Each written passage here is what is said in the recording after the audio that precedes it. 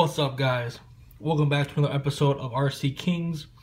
Um, just wanted to give you guys a quick update video here. Uh, my last T-Maxx video, uh, I had quite a bit of carnage happen. Um, I had the first incident happen where my rear drive shaft broke on me. You guys can see here, literally half of that's off, just missing and then the other side it's it's barely barely hanging on there. So it twisted that boy real real good. Um, obviously this wasn't that big of a of an issue. I had a spare brand new spare one in the house went in replaced it and back out i went. Well then in the video as you guys seen a little bit later i had another issue where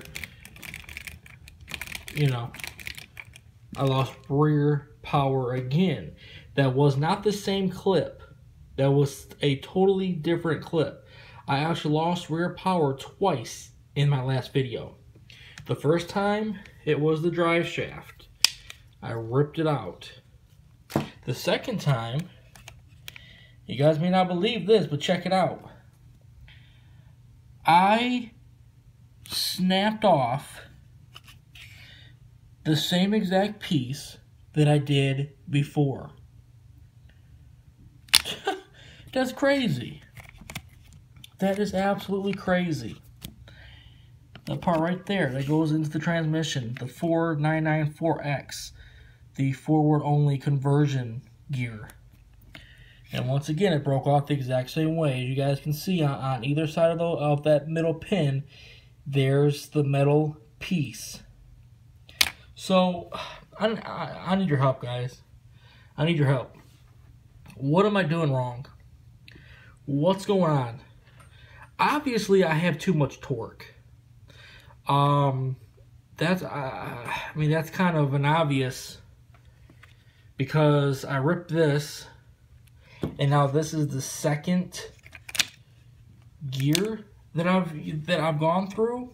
Like I said, guys, this is let me flip this around here. This is the motor that I'm using. It's the GoolRC 3300 kV motor.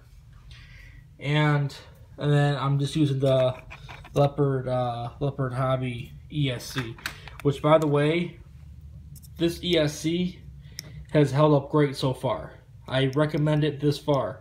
Haven't had an issue with it. It's been in snow, it's been in water, it's been it's been wet and uh, it's it's held up. A lot of you guys have given me crap for running this motor. It's the brushless, you know, GoolRC motor. And a lot of you guys have given me crap because it's it's it's a smaller motor, which it is. Um, but I mean, as you guys have seen from the videos, that's the kind of results that I'm getting out of it. You know, the top end isn't all that, uh, but I mean, it does move. Um, but it's got a lot of torque. It's got a lot of torque. I don't recall what the pinion and the spur gear is. I'm gonna, I'll have to look into that, but not sure what I can do um, as far as me snapping or keep snapping that gear right there. That's crazy. I mean, you guys just see me replace that. And here I go breaking it again.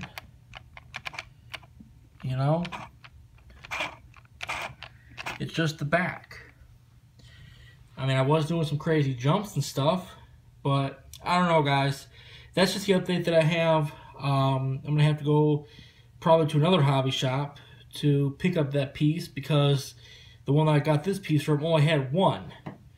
And I don't think their shipments come in until I think Tuesdays or something like that. So, anyways, let me know in the comment section below, guys, what you think.